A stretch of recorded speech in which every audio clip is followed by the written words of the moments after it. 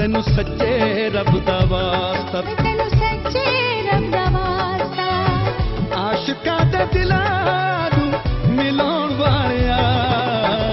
ਜਿਉਂਦਾ ਰਹੇ ਚਿੱਠੀਆਂ ਪਹੁੰਚਾਉਣ ਵਾਲਿਆ।